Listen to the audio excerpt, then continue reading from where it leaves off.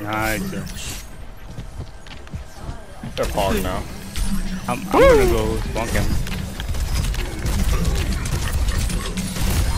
Hog dead. Yeah, that works.